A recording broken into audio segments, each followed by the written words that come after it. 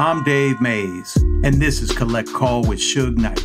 What you're about to hear are conversations, raw and uncut, with the legendary founder of Death Row Records. He's currently serving a 28 year sentence in California State Prison. His honesty, vulnerability, and current state of mind will all be heard in this groundbreaking podcast series, featuring conversations with me and many other guests who have agreed to accept Suge's collect call.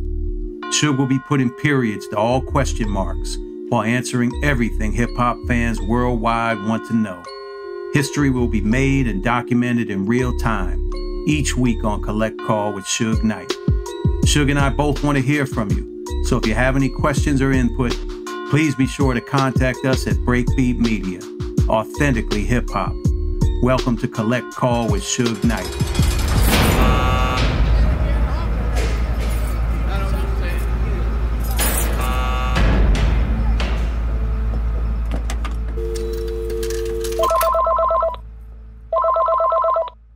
Hello. This is Global Tel Link. You have a prepaid call from Suge Knight. this call and your telephone number will be monitored and recorded. To accept this call, dial 5 now.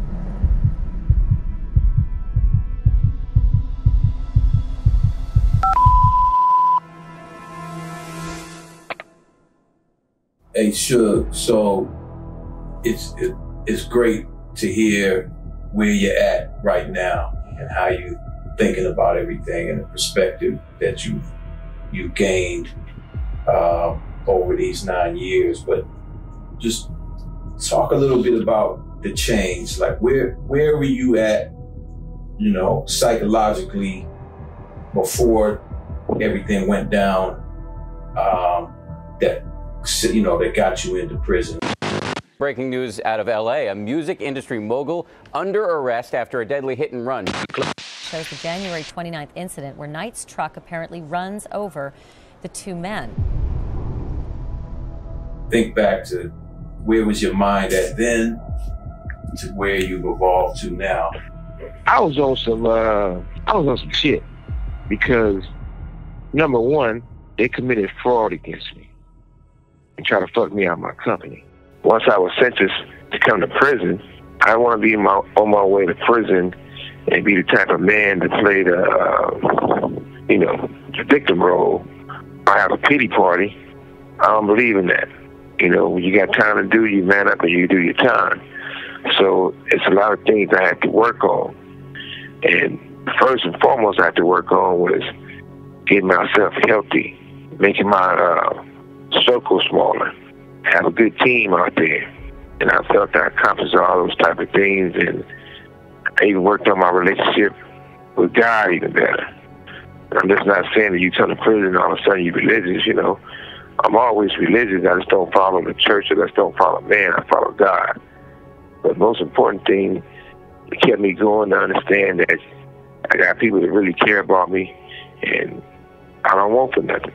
And I always say, you know, if it's 5,000 people at a prison on East Yard, I know I'm doing better than 4,999.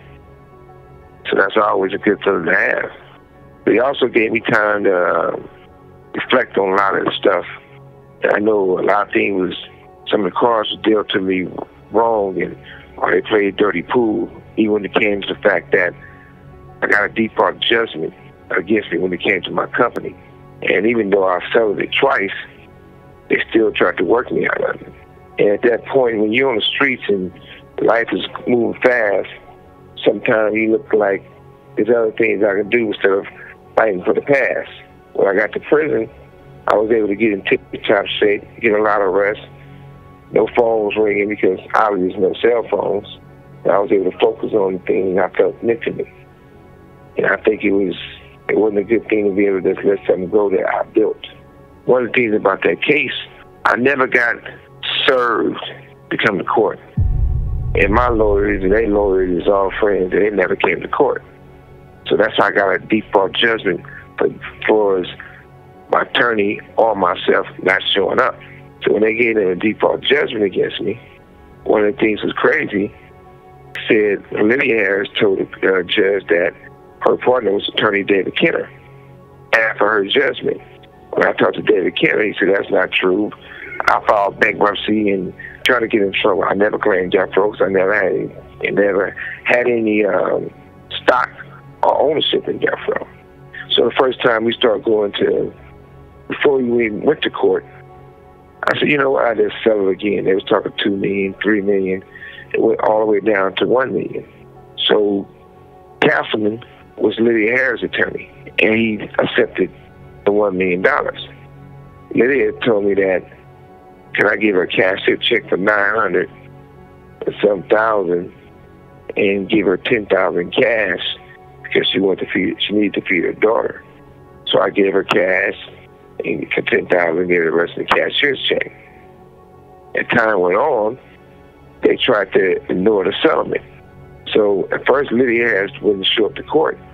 But it was a while back, it's still on the internet somewhere where Michael Harris, Goldberg, uh, guy they called a cap, and another guy was on the phone, and they were saying, "Look, man, we know the judge. We got the judge in our hip pocket. We're gonna say this.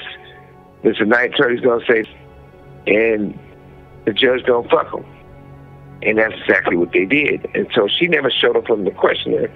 So it was brought to my attention to show them that it was settled and do a Chapter 11 and go to court and show the judge. As we was doing that, this call and your telephone number will be monitored and recorded. Basically on my side. So one day we come to court and Dan McCarthy looks a little upset. I said, what's up? He said, man, this dude didn't speak to me because they did threaten my family and said, I can't do a good job for you. I represent you. I said, what? So I was going to get on the dude. So I told the fool, I'm like, look, man, you holler at me, don't holler the lawyers, you know. And Dan said, no, don't, don't trip, let's go. Inside. He said, let's trip, but he said, let's just go inside the courtroom. We go inside the courtroom. I'm sitting with Daddy, which is my uh, attorney, our accountant, another guy, and Lydia goes and says, you threatening me, you threatening me, and starts shouting at the top of her, her lungs. You know, like, damn, what's going on? The judge, the woman judge, you know, the court and said, what's going on? Why she shouting? Somebody threatening her. Next thing you know, 14 marshals came to arrest me. So Dan McCarthy goes and said, no, no, no. I'm his attorney. I'm sitting right here. Mr. Knight haven't said a word to nobody. He said, the reason why they saying that, person got threatened is my wife. They said, your wife? He said, yeah. Michael Harris sent some guys over and threatened my wife and said, if I keep doing a good job for Mr. Knight. they're going to do something to her and my family. When they said that, they wanted Dan McCarthy to take a deposition with the feds. It was in federal court, which he did. So when that happened, they said it was too too much for a woman judge gave a man judge. That's when the the um, the bullshit came in the game. That's when they, they just ignored everything we was right on. She was gonna definitely give me my company back. So when I got to prison, I started going over all this stuff. I said, minute. They said that she filed bankruptcy. And if a person filed bankruptcy, that means if you don't claim Death Row or another company, you can't claim it later on. Because she had a trustee and creditors. So when I found that out, that's when I started talking to the attorney about it. That's when I even talked to Lydia Harris about it. And she was like, yeah, I filed bankruptcy. I said, okay, that's true. Now I get the emails from Gold, Goldberg, who's Michael Harris' attorney, the Castleman, who's Lydia Harris' attorney. So Goldberg emails Castleman saying, you know, get out the way, basically. We're going to take it from here, and we're going to deal with it. And Castleman emails him back saying, no, it's our judgment. I represent Lydia Harris. Lydia got the judgment, not you and Mike. They said, well, you don't supposed to have anything because Lydia Harris filed for bankruptcy. And when she filed for bankruptcy, she never claimed any involvement or any ownership with Death Row. So Castleman emails him back and said, well, I didn't find out till almost a, a year later. But as an officer of court, it wasn't settled. It wasn't, it wasn't resolved. You contact the judge and say, hey, the court to say we can't move forward with this, this illegal. But neither side did. So when that happened, I was like, okay, let me dig more and get involved in my shit. So what ended up happening after that, Castleman to my attorney. The reason why he sued my attorney, because my attorney was to pay the money directly to Castleman. Castleman would have got his 40% and gave the rest to Lydia. He both got 400000 Lydia both got 600000 Lydia said that Michael Harris took money and Goldberg took money. But the judge said Givens both gave the money directly to um, Castleman. Well, my attorney both gave the money directly to Castleman instead of the Lydia. So he gave um, a million dollar judgment against Gibbons. And the reason why he said he gave him a million dollar judgment because they settled the default judgment. And if they settled the default judgment, why the fuck I don't have my company? To move forward from that shit and make, and make things even more crazier when you really look at it, when it came to attorneys, they all claimed the same thing. This person threatened me. This person was gonna, you know, harm a child. Even says uh, they showed to his house and was talking about doing something to his son, and they was gonna tell everybody he was a homosexual, which I didn't know. So all the shit just went crazy. And that's what ended up happening. And that's why I turned around and said, you know what? Right is right, wrong is wrong, but I'm going to stand up and fight. So if that happened with Pepsi Cola, Warner Brothers, and Sony, the law said you got to give them their shit back in three times the amount it's worth. Now, also to mention, Koch is E1, which is still in my catalog plug. They hired a lawyer named Keith Berglund, paying my, my money every month to make sure I won't get a default judgment. I got the default judgment, and the one ended up with my shit, and they they didn't want end up back to Interscope. Now, for Snoop to say him and Michael Harris are doing something together as a team, that tells you a lot of. I'm disappointed in that motherfucker because if you want for me, you'll still be in prison doing life. You turn around and you say you partners up with this dude. Neither one of y'all got death row or bought death row or purchased death row. Now it's it's but. So what you mean when you say um, what you mean when you say that you uh, he'd still be in prison? Because when when Snoop got convicted for the murder, Snoop Doggy Dogg. A judge in Los Angeles refused today to drop murder charges against him.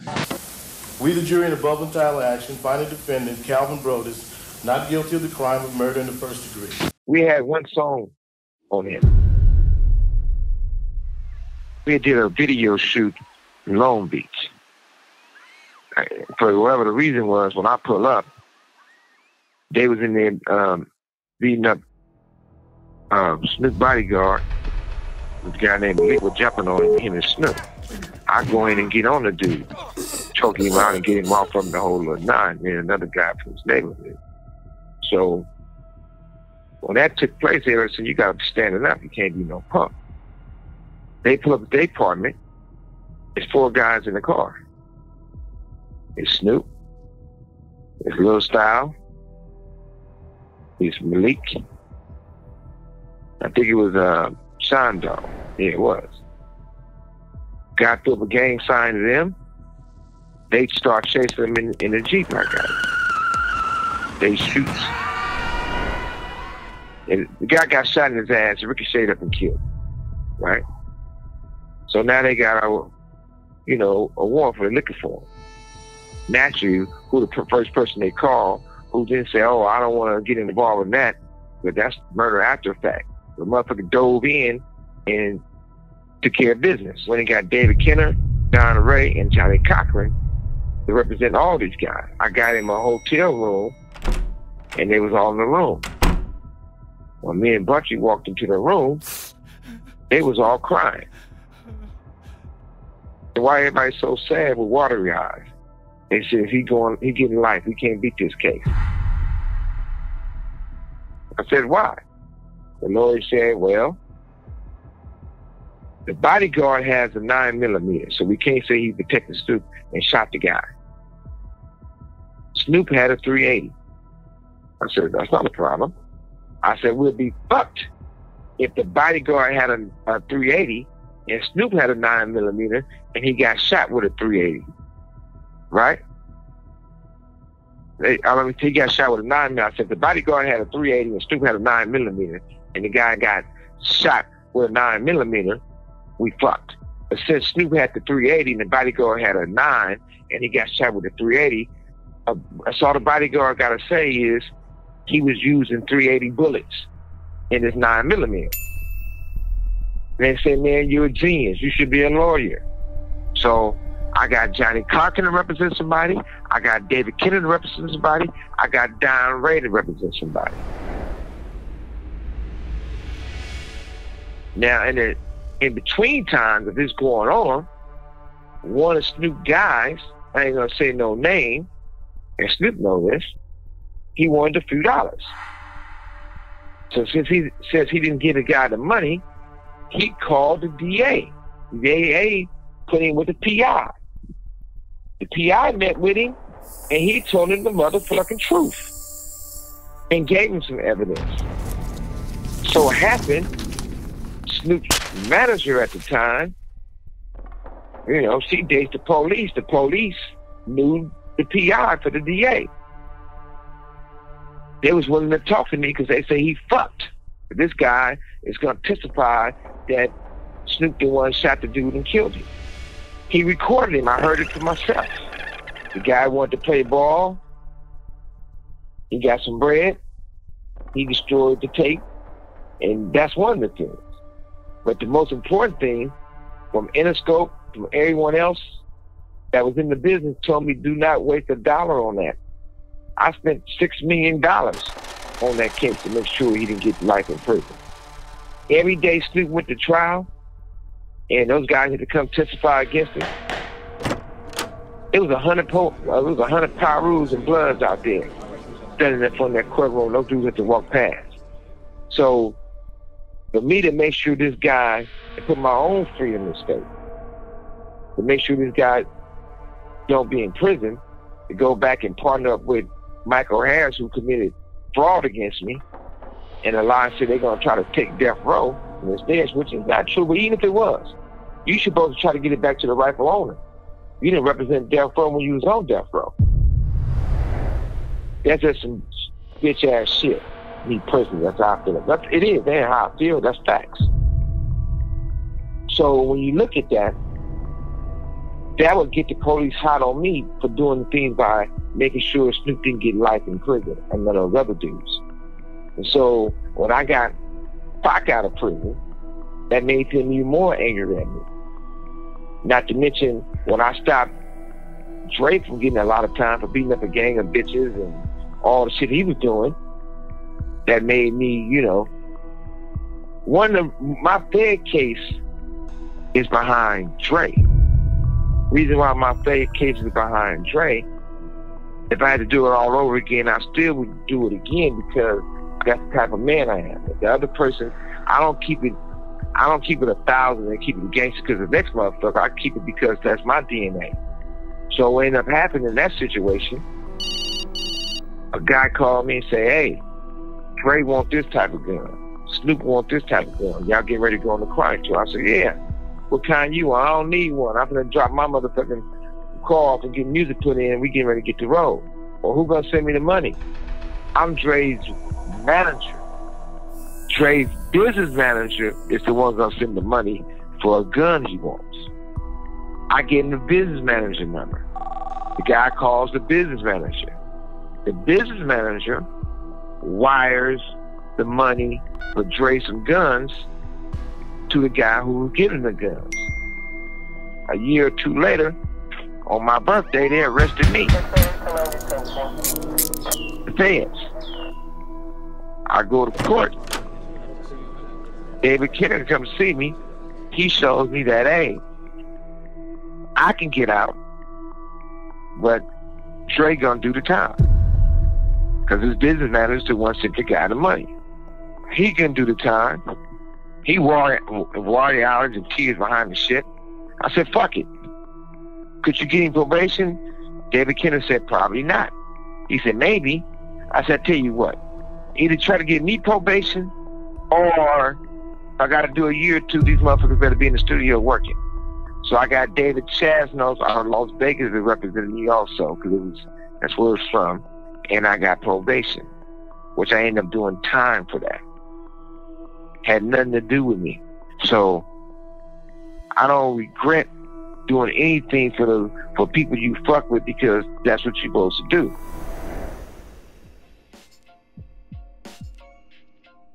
And so when it came to getting Pac out of prison, only person made it happen and let me know to get Pac out of prison was a girl named Keisha. That is the baddest bitch in the world. If it weren't for Keisha, you guys wouldn't have heard All Eyez on Me, all, all the other hits she did. Keisha called my office every fucking day. Every day. I'm Pac White. He need to talk to Mr. Knight. He need to talk to Suge Knight bad. It's life threatening. It's important. It's important. It's important. I used to go to my office and everybody be laughing and clowning. Some crazy bitch saying she's Pac's wife, and so we not, uh, and she want to talk to you, but we don't put her through. I said, let me tell you, motherfucker, something. I called a meeting. I said, hey, what was you doing before I gave you a job? Do you got a high school diploma? You got any experience? I didn't graduate from high school. You, you, you, you. A lot of people didn't wasn't, wasn't working. I said I gave you guys the opportunity to get paid every two weeks. I didn't ask you to think and see if somebody's Pac's wife or Pac's not Pac's wife. That's my decision. Next time she called, y'all better make sure I talk to her. She called and put it through. She said, I'm so glad you talked to me. Pac really, really, really needs to talk to you. He said, life threatening, he needs you. I said, all right. He said, needs to come see him. I said, look, I don't want to tell you I can come see him because I'm on house arrest. I'm going to go drive to my attorney. I don't want to talk to him on the phone. Call me in an hour and a half and I'll let you know. She called back an hour and a half. My attorney said, hey, we can get this uh, shit, but you taking a risk. If, if, if, if, you walk through that metal detective and it goes off because that ankle bracelet, we fucked. I said, I got to take that chance because she said it's life threatening. I got to do what I can to help Pac. Flew private to New York, had to fly a smaller jet to get to where Pac at, and then take a two hour limo ride to get to the prison. Very first time I seen Pac. You know, we had the conversation, I kept going back. But Keisha made that happen. Then when people went around and said, well, Pac that, that ankle bracelet when people turn around and said, bracelet didn't didn't mess you up. They, hey, if it went off, I'd still been locked up, and Pac would have still been locked up. but the crazy thing about that shit, right? I didn't have to do a deal with Pac because Interscope didn't want Pac anymore. They was giving me Pac contract because they didn't want Pac no more. He was too much for them. Pac used to walk in the motherfucking office and call them all motherfucking the devils, and they didn't do nothing for him when he was in, in when he was in prison. They didn't help him. So he was done with them. They gave me his contract. So I didn't to give Pac a new contract. The reason why I gave Pac a new contract because on Interscope, Pac probably was getting, you know, after he paid everybody six or seven points. One point on a million records is like eighty thousand dollars. I gave Pac a dollar and then start getting two dollars. So if Pac sold a million records on Interscope, he probably would have made six hundred thousand dollars, maybe a half a million dollars to six hundred thousand dollars. If he sold a million records with me, he'd have made, you know, two million dollars. Big difference. If I did a, if Pac did a video for Interscope and they paid a million dollars for a video, they charged Pac a million dollars. If I did a video with Pac and I paid a million dollars, I charge him a half a million, and I pay a half a million. Now, now what, what about some of your other? So I could always. What, what about some of your other artist deals? Because a lot of people have, have tried to say that, you know, like like that they didn't have good deals with you or, or whatever. But I, I, you know, talk talk about talk about that. Right. Okay, well, let's look at it like this. You can look at their contract and see how much money they was making. Plus, I gave all my artists money every month, from ten grand to five grand a month, and bought them cars and had them a place to stay and paid their bills. Nobody in the industry was doing that. On top of that, even like with Snoop, Even though I paid all the shit for his court, bought him a house, all that type of shit, right? You can't go to court wearing khakis. I had him. I, I paid for all those suits in different wore to court. I paid for his security, two off-duty police officers taking the court, make sure he get there on time.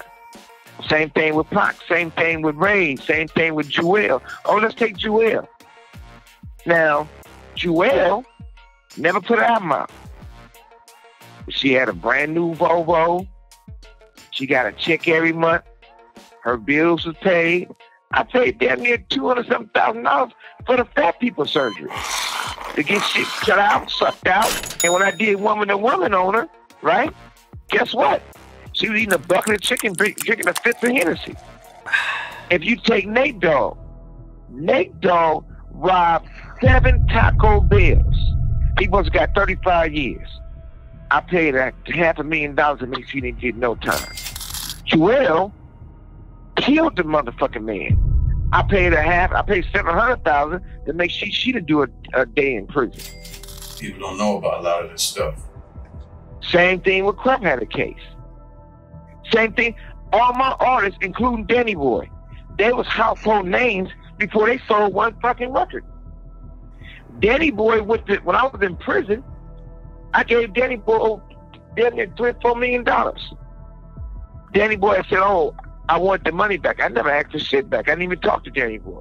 Not, not only that, right? I paid for Snoop an office in Beverly Hills on Beverly Drive with his manager. We had he, he had the motherfucker any way he wanted it.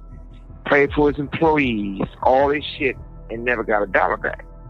And at the same time, Dre was signed to Ruthless as a producer and as an artist he was signed him as a producer for the rest of his natural born ass life. And they would cross collateralize anything he got. What that means is that if they owed him, he was only getting one point of anything he produced. And they had the right to cross collateralize it with anything that Ruthless lost. So if Ruthless, if they owed Dre $5, but Ruthless took a $10 loss, They'll say, Dre, we're not gonna pay you because we lost money. And they talk a four dollar loss, they and, and they um, owed him money. They said, well, we're gonna give you five dollars, but we're gonna pay you a dollar because it was a four dollar loss. He never would have got out that deal for the rest of his life. We couldn't have did no publishing deal, none of that stuff. Not only did I take care of him, he owed me a shitload of money. I did publishing deals with my artists because I had a publishing company before I had any other company before I even started a record label. So I paid out my own pocket to sign artists who never wrote one song and did publishing deals with them.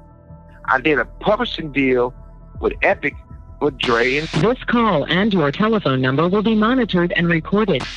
When I went to prison, they couldn't recoup none of the money they advanced Dre because Dre don't write lyrics and Dre samples.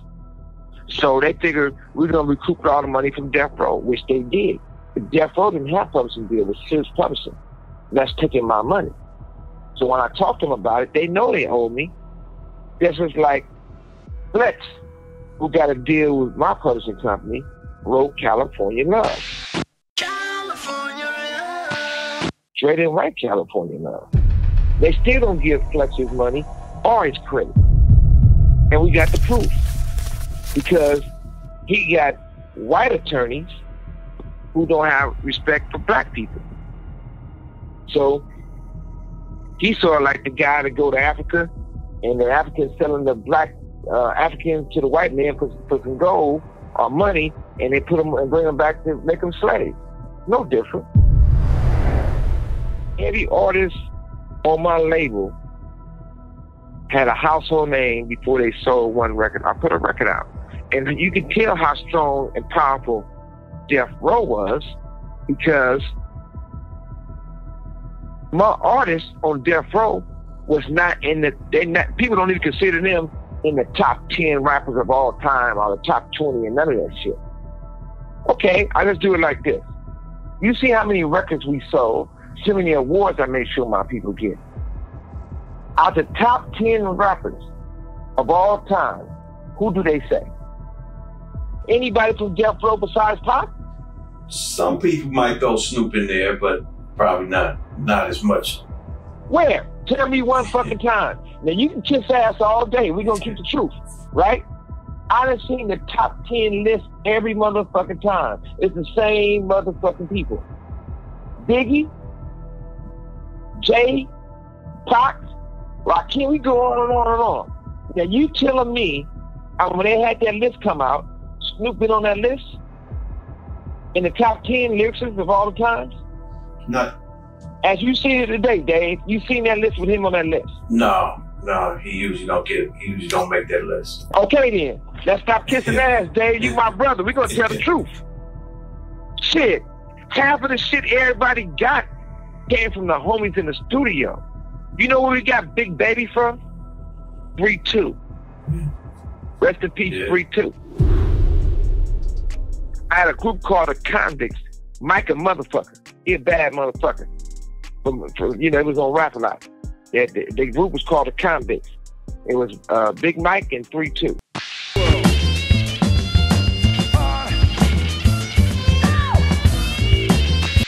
Not that cop kissing uh, Big Mike, the real Big Mike. So look, three two came in the studio. He said, "Look, man, I know y'all say blood. Some of y'all say cuz. Where I'm from in Texas, we don't say blood. We don't say cuz. We say big baby." And he started telling everybody.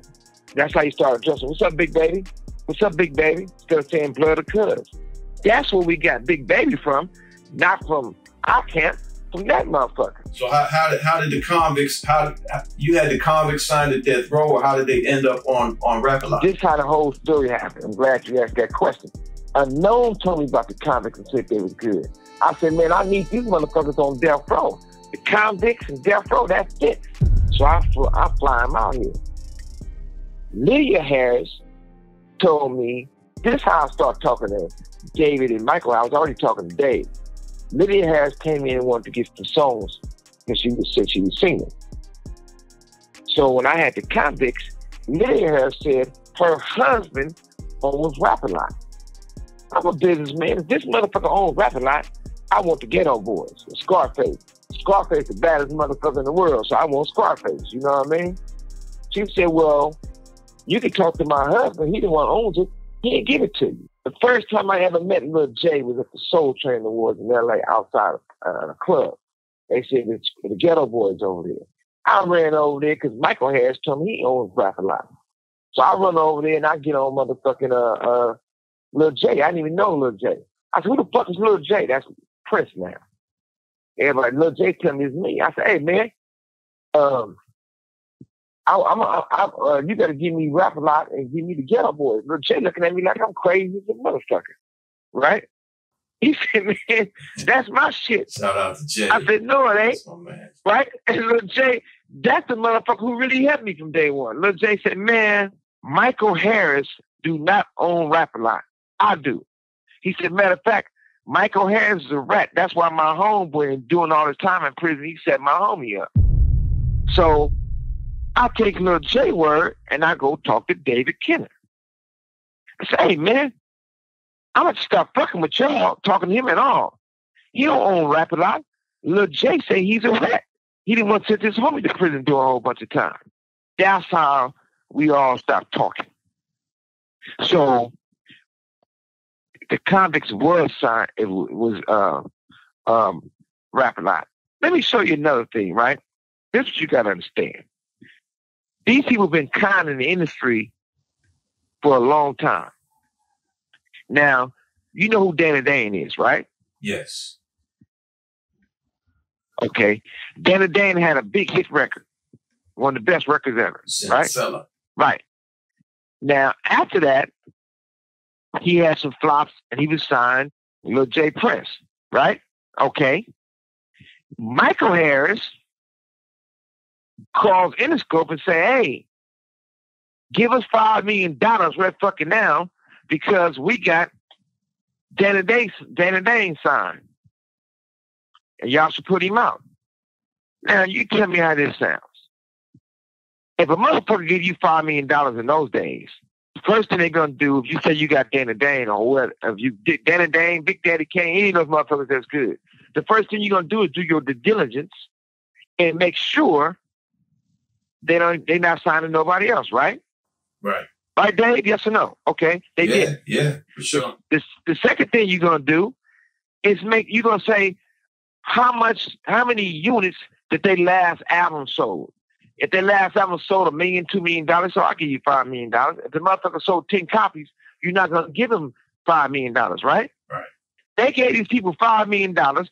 Little Jay Prince called and said, "Yeah, they don't got Danny Dane. I got Danny Dane signed." Guess what they do? What's that? Deal's over with, but they didn't get their money back. Mm. So all along, they didn't go to them and says it must be some money laundering or something illegal going on. But why would they do it to me? Because I'm black. They didn't go and get Denzel. They said then he gave Denzel money. I don't know if it's true or not. They didn't do that. They're gonna fuck with me because I'm black. But at the same time, back to what I'm saying. I'm not saying, and I tell you, I tell you what, if Michael Harris and Snoop want to say they death row, you have 60 seconds remaining. They they they announced that on the biggest platform in the world, the motherfucking Super Bowl and everywhere else. How many motherfucking records have they sold? So far, I don't know. I yeah, not not not, not too many so far. You know, they ain't sold shit. Well, I tell you what, they want to impress me. Tell Michael Harris, who they all in the uh, photos in the studio, tell that motherfucker him and Snoop go to, uh, uh, the studio and do motherfucking an album Snoop by his motherfucking self. Just him and see what it sells.